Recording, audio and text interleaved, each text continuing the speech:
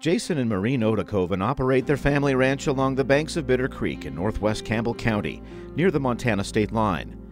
To truly understand the Oedekoven's passion of conservation, you need to go back 15 years with the purchase of the ranch. The property was flooded, covered in weeds, filled with trash, and old broken down cars lining the banks of Bitter Creek. Thus began an aggressive weed management program until the place took on the look of a cattle ranch.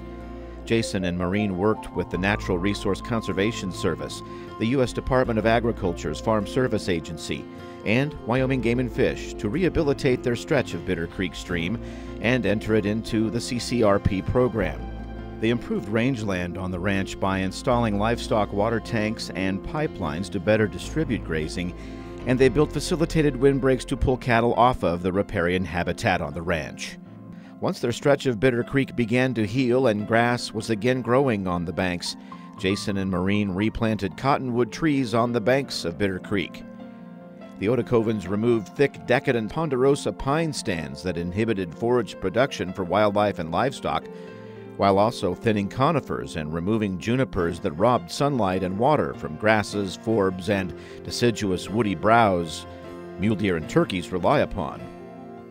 The forests on the ranch are abundant with mule deer, wild turkeys, and the occasional elk.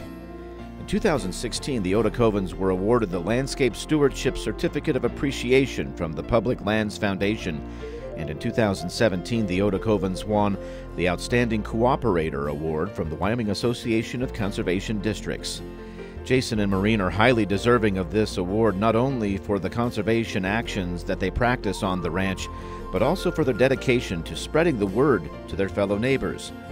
Wyoming Game and Fish is fortunate to work so closely with such a kind, appreciative, and passionate family as the Oedekovens.